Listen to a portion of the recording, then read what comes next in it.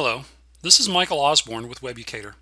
In this video, we're going to take a look at the business intelligence markup language and how we can use this BIML tool to declaratively create integration services packages.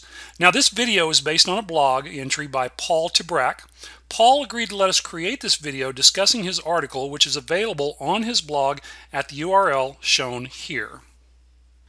So let's begin by describing what exactly BIML is and why we care. BIML is simply an XML markup language that we can use to declaratively create integration services packages and a bunch of other stuff in business intelligence. Now, why would we care about that? Suppose, for example, that I need to build a uh, package an integration services package containing a single execute SQL task. And in that execute SQL task, I'm going to fire a procedure in my database. Now that's pretty straightforward. I go into uh, the data tools, I add a package, I add my uh, execute SQL task, and away we go. But suppose I need to create a dozen a dozen packages where each one contains an execute SQL task, but each one fires a different procedure. Now, if I use the designer, I'm going to have to go through this process 12 times where I add a package, I put the uh, appropriate uh, task on the design surface, I go configure it, it's going to be kind of tedious and repetitive.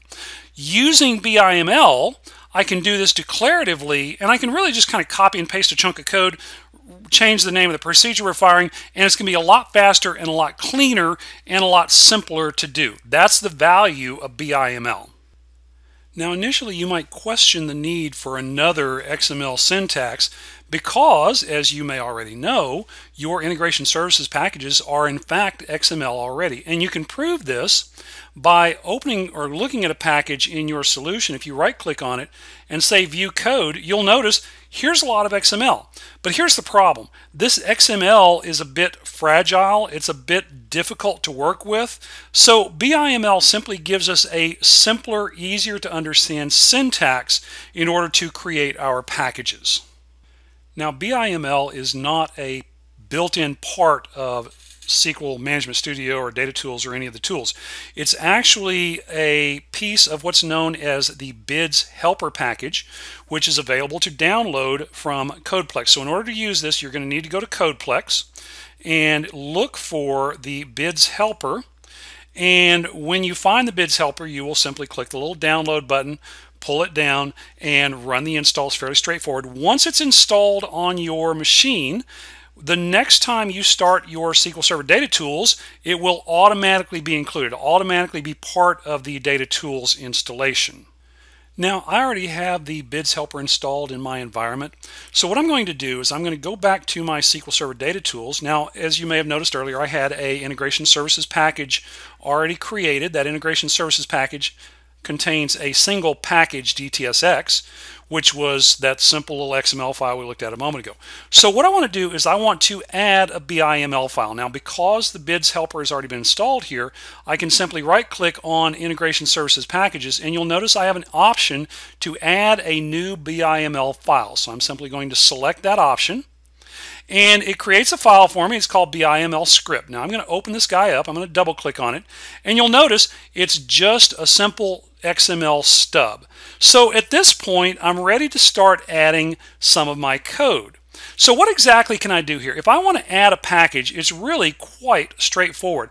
I could simply do this. I could plug in here a package element and define a package. Now, we need a little more information than that, quite honestly. And I do want to point out when you're doing this, uh, that you do have full IntelliSense support. So for example, if I were to simply do this, you'll notice it recognizes packages and schemas and projects, all the various pieces and parts that I might need in my BIML file. So what I'm going to do is I'm going to throw in some code here to create a couple of packages. The first thing I'm going to do is I'm going to create a package called linear. Now, in order for this package to work, I'm going to need a connection. So I'm going to define a connections section as well as my package, if I can get my designer caught up here. So you'll notice here I have defined a connection section which contains a connection string. Now this isn't filled out. It's probably not pointing to anything. In fact, right now I think it's pointing to AdventureWorks, which doesn't exist on my machine. But you get the idea. I define a connection. And then below that, you'll notice I define a package. In the package, I define this as a linear constraint. In other words, I want my uh, tasks, my steps within the package to happen in a linear fashion. And then within there, I have a execute SQL task, which says fire proc 01, has a connection, connection name is SQL 01, and for direct input, I'm specifying select one. In other words, I'm passing this information in. Now, one of the interesting things that you should note about the structure here is the fact that my connection is separate from my package.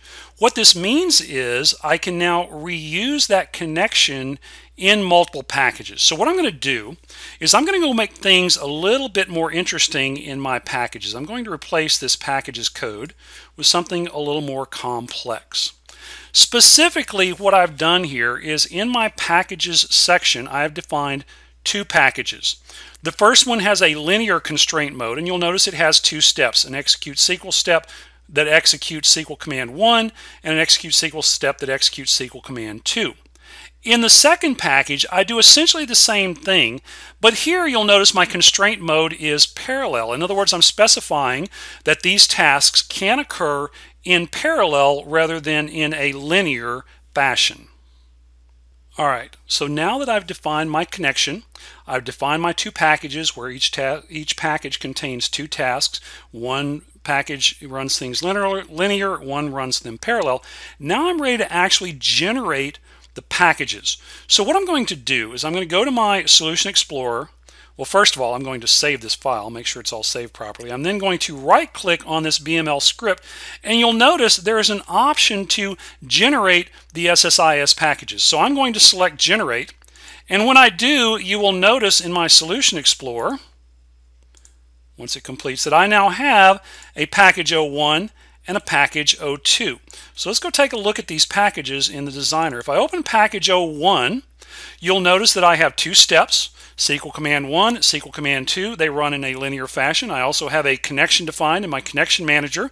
Now you'll notice that connection is it's marked red. It doesn't know, it, it's obviously not connected to a database. I'd have to go fix that, but you understand how this works. So let's go look at SQL, I'm sorry, at package 02. And you'll notice package 02 also has two steps, but in this case, they run in parallel. And again, I have the connection down at the bottom. So you should, at, at, this point, understand the value here. It allows me to build repetitive packages with minor changes much easier than trying to do it using the designer. Okay, I'd like to again thank Paul te Braak for the inspiration for this video. Be sure and check out his blog at the URL you see here for some other articles related to SQL Server Business Intelligence. That's it for this video. I hope you enjoyed it.